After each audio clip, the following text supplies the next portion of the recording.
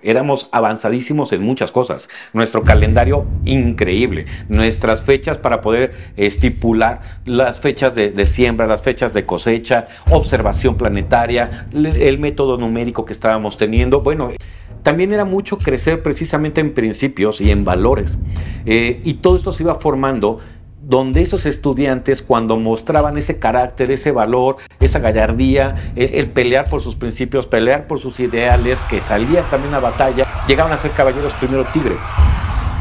Seguían evolucionando, llegaban al caballero águila, era, era ese caballero que no era nada más el que salía a pelear y levantaba la matzahuitl, no era nada más el, empuñarlo para, salir a combatir, es la persona que tenía principios, que tenía valores, que sentía orgullo de lo que hacía, que al momento de morir en batalla moría con, con dignidad moría con la cara hacia arriba y que también cuando estaba contra el enemigo respetaba al enemigo. Hay una frase que me gusta mucho y me vino ahorita a la mente de Troya, que le dice, oye, pero tú eres mi enemigo. Sí, pero hasta en los enemigos también debe de existir el honor.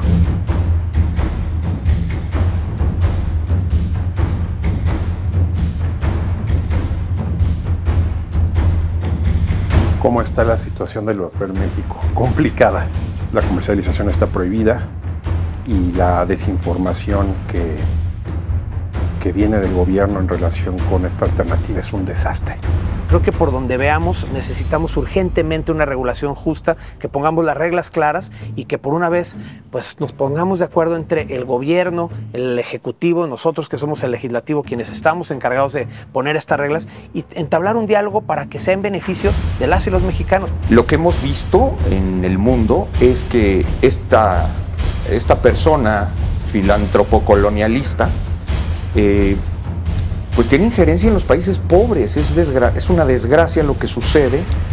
Cuando la gente se entere de esto, pues poco a poco va a pedirle a los gobernantes que rindan cuentas de por qué están tomando ciertas posturas, sobre todo cuando derivan de financiamientos extranjeros. ¿De verdad vale más la vida de un inglés que la de un mexicano? Yo creo que no.